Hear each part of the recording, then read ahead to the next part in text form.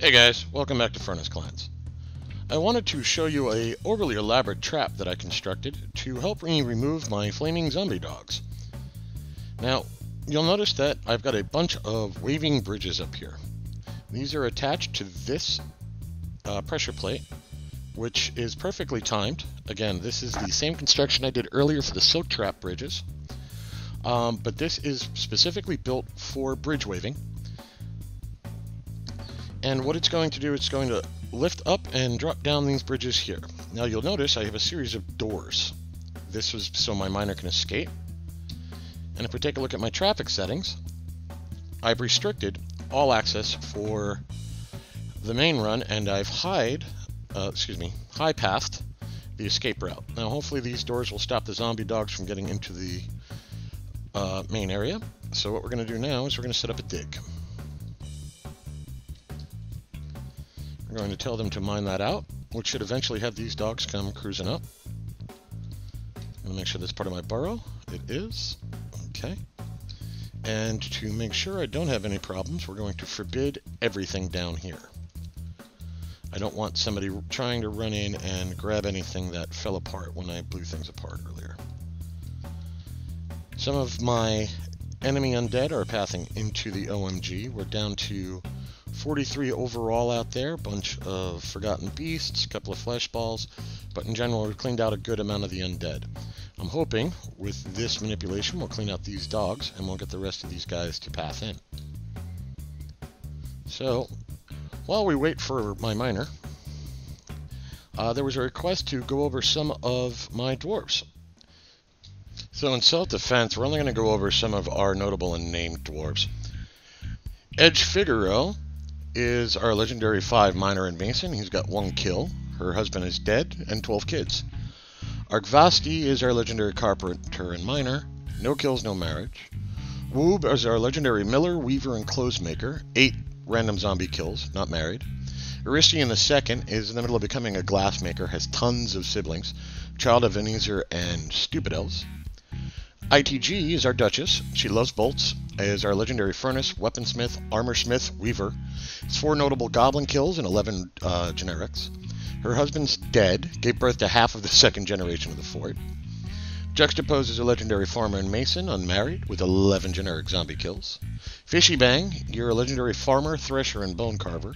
You're a child of ITG, you're unmarried, you got one notable goblin kill and five generic zombie kills. Anezer is a legendary farmer and gem cutter. Married to Stupid Elves, crap loads of kill uh, kids, but no kills. Stupid Elves, you're a legendary stonecrafter, furnace operator, and farmer. You're training up in metalworking, and you got two generic zombie kills. Antikon, who is our bookkeeper and manager, is also a legendary farmer and our main brewer. Is unmarried, seven generic zombie kills. So that's what the doors look like. Now we're going to lock this door, make sure that nobody goes through it. And unfortunately, we're going to have to take this door out so we're going to remove that building. And that's because the dogs won't see a path if they can't get through the door. But didn't look like they immediately responded, so hopefully, eventually, they'll come cruising up and get themselves splattered. Here's hoping. Hey guys, apparently when I had to do my reinstall, something ate uh, a couple of clips I'd created or something or other. But either way, I lost a bit of information on trying to deal with the dogs. As I just mentioned, I had created the giant waving bridge structure, which is down here. Uh, but the dogs weren't moving. They stayed on fire and would not pass.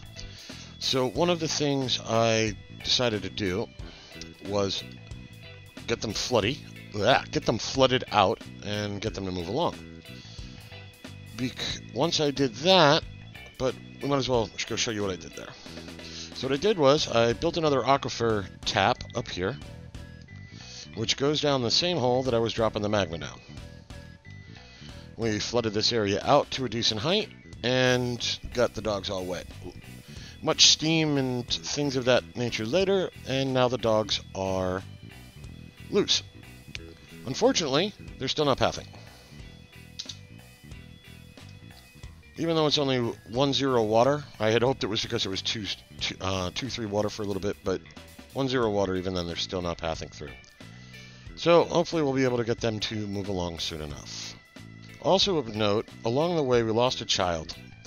Up here on our ice wall, one of the children had strayed too close to the edge uh, during a human invasion and got shot full of arrows and ended up getting killed.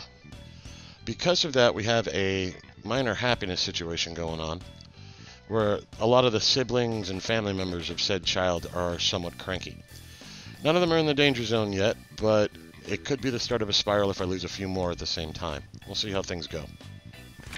Now here's something annoying, and part of the reasons I didn't actually want to try and flood down here originally, but it didn't give me much of a choice with them not pathing due to fire, was we're getting trees growing in this, which means to actually let them out, at some point I'd actually have to come down and cut this tree down if I let it occur. Now, I could try and get somebody in there to floor it, but I'm afraid these dogs will chase them down and try and do something horrible to them. So we're going to... Well, spring just arrived. And what we're hoping to do is the military should come down for live fire training next this next month. I've got them set on schedule. So I found up above on surface, playing with the um, ice wall and the covering, that if an undead doesn't want to move, once you start shooting bolts at it and it gets re-engaged, it'll start moving again, and I've gotten some things to path into the grinder that way, which is helpful. So I'm hoping that's going to happen here as well. In other news, we've just about finished our east side walling, or at least stage one. We've got two slots left. Once these are closed off, I'll seal this area off. We've begun building bridges as overheads. The left side is pretty much complete. Once that's sealed off, I'll fill in this little corner and we'll come down here and we'll see what happens when we blow this up. And in the meanwhile, this is working nicely. We're in middle of autumn and we're not having much, if any, ice being dropped. So this technique will work. Now, one thing to notice is I have plenty of space for buckets still down here. But my buckets that are full with ice that were left behind are still filled with ice. What I'll probably have to do is set these for a special dump zone indoors somewhere so that the water will melt out. Or so the ice will melt back into water so I can do something with it. And on the 1st of Timber in 799, late autumn, we have completed walling off one third of the map. The southern half now belongs to Furnace Clans. No more invaders down there. Now we'll have to start working on the rest of the map, but we will get there. Meanwhile, we're going to build off our roof and get ourselves situated down here now that we've got a bit of surface to play in, and get control of that and make it make sense. So now, out of raw curiosity, now that we've sealed off our southern half, I want to see what happens with this ice wall on top of the roads and bridges.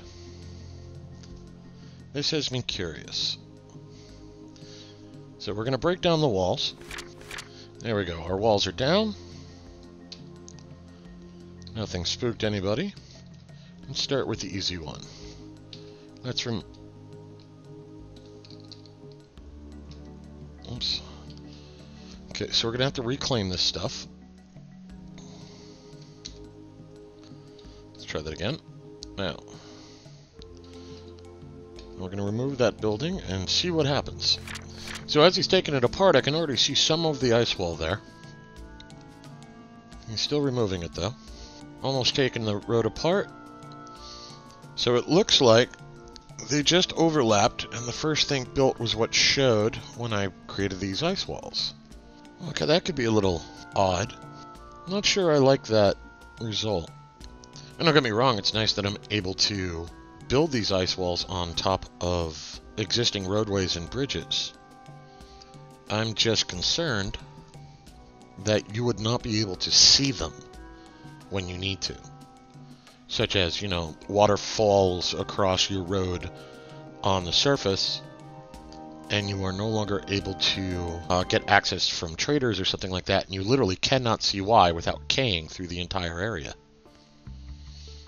Okay, so we know the road's good. Let's remove these bridges. So with our bridge being broken down, as we can see here on the left, the ice wall is good there as well. So we are able to place ice walls on top of existing items, and it is just simply overlapping. This is good to know for the future. So similar to the live fire pit, I had some off and on recordings of the ice wall and other things uh, get lost in the move between the two systems. One of which was apparently my settings for temperature and stuff like that didn't hold. So I had to fight with it a bit to get uh, ice drops to, oh, excuse me, ice walls to build again. As you can see, we've expanded this a little bit. We've completed the walls up here. I started expanding the walls going north because I wanted to start filling in some areas. And then a massive uh, human invasion showed up, which had me sending everybody inside so I didn't lose anybody else. And they're still kick, mostly kicking around.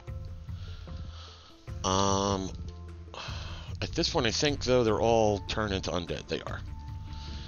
However, the reason that they're all still sitting on the surface and haven't done anything is because we're in the middle of cleaning out the OMG. Uh, these are tons of bags. We finally cleared out the majority of this stuff, but we're also building uh, two lines of spike traps, and they're all going to be hooked up to this pressure plate. Because the pressure plate can only take uh, one job at a time to hook up these spikes, it's going to take a while. I have a feeling I'm just going to be down for a year or longer. So we're not going to be working on the surface for a bit because there's just going to be too much stuff up there to deal with.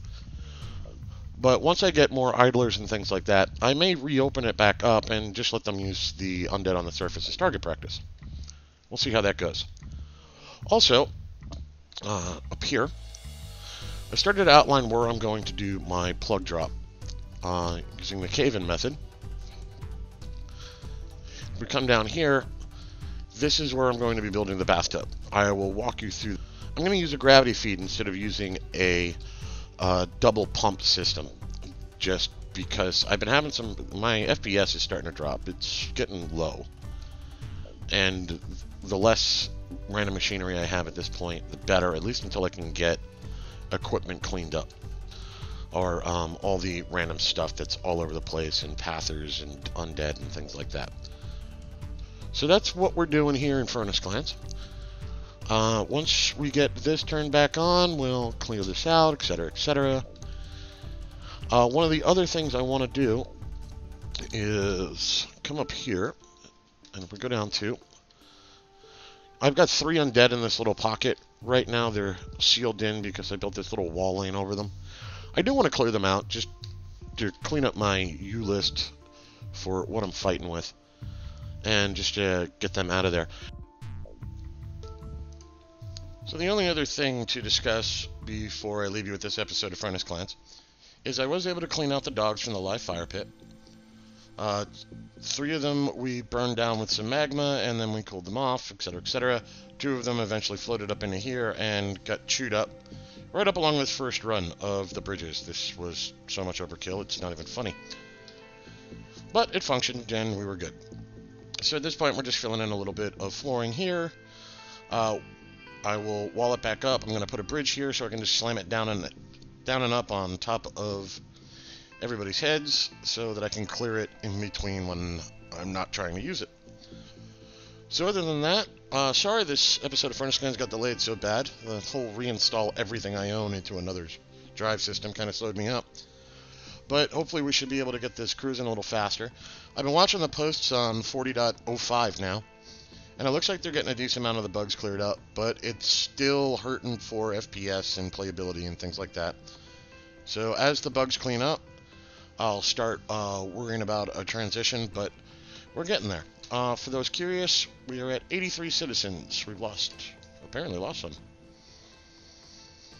Um, so eventually we'll get there. But as always, thanks for watching. I'll see you next time.